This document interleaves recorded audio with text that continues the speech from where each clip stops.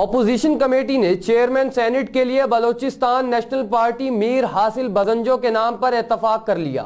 تفصیلات کے مطابق چیئرمین سینٹ کی تبدیلی پر اپوزیشن کی اعلیٰ قیادت نے مشاورت مکمل کر لی۔ بلوچستان سے تعلق ہونے کے بنیاد پر میر حاصل بزنجو مضبوط امیدوار بن گئے۔ تاہم، اپوزیشن جماعتوں کی اعلیٰ قیادت نے راجہ ظفر الحق پر بھی اعتماد کا اظہار کیا۔ سرائے کے مطابق، مسلم لیگ نون کے قائد نواز شریف نے بھی میر حاصل بزنجو کو چیئرمین سینٹ بنانے کے فیصلے پر اعتماد کا اظہار کر دیا، جبکہ اپوزیشن کی جانب سے بلوچستان نیشنل پارٹی کے میر حاصل بزنجو کے نام پر اتفاق ہونے کے بعد رہبر کمیٹی کمیٹی کے اگلے اجلاس میں میر حاصل بزنجو کا نام حتمی منظوری کے لیے پیش کیا جائے گا۔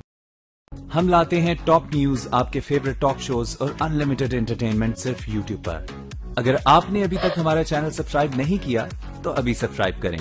اور بیل آئیکن کو کلک کر کے ہماری لیٹسٹ ویڈیوز کے بارے میں اپڈیٹ جانیں۔